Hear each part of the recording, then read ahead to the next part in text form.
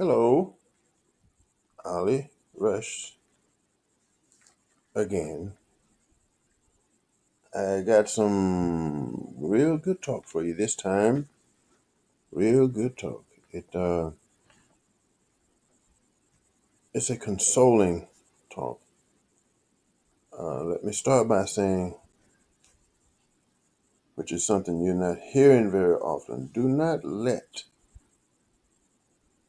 devil ride. What do I mean by that?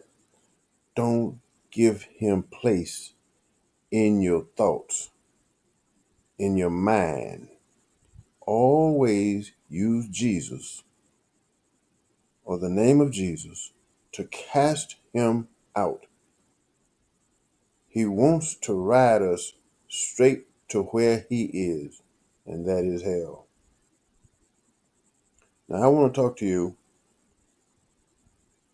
Hopefully, you understand. I'm going to try to, to speak in understandable terms, but I want to talk to you from this, um,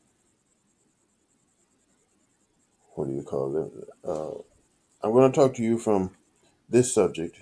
I'll call it a subject again fear and motives of this pandemic. I'm going to get into the problems that this pandemic is giving us with the help of Satan.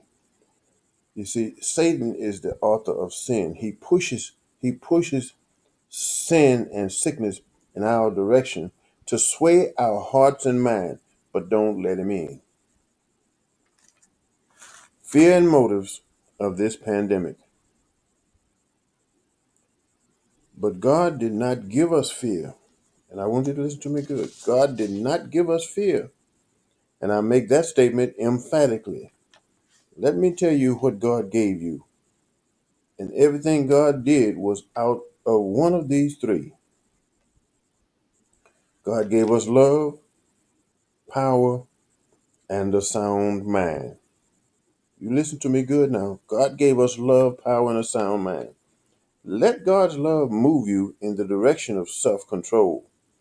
Knowing that God loves you should give you peace, consolation, and the joy that you are missing because you feel locked up and deserted.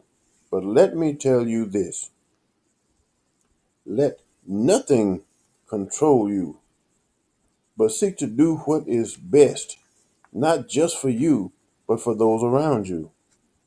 Don't ever do what the situation commonly calls for, but do what is wise and right. Seek to be wise as a serpent, but harmless as a dove. What does wisdom call for? Well, maybe if I tell you where wisdom originates, you'll know better of whom or what I speak. Wisdom comes from God.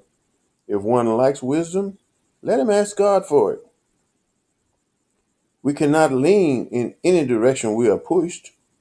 Lean not unto your own understanding, but look to God. He is the supplier.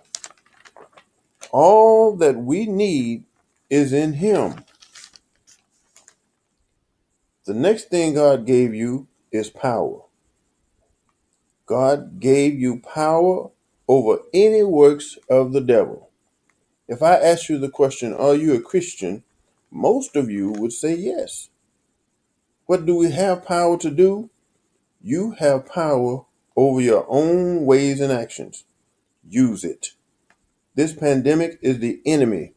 You have power over the enemy because Jesus gave it to you when he took the keys that had us locked up in the clutches of death. This pandemic is trying to lock you in death again. Do not allow this. Throw fear out the window and the devil with it. Pick up wisdom and move in the direction of the power that God has given you. What you say is that direction. Let me put it this way. What you say is that direction. Let me put it this way. Keep looking up. Did you hear me? Keep looking up. God gave you a sound mind. To let the devil control your mind is weak. Do not be weak. Bend those knees, cast off pride.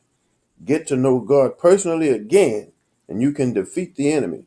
This pandemic and the devil who brings it on is the enemy. That is where all the blame goes. Wake up, look up, and then get off your knees and stand up.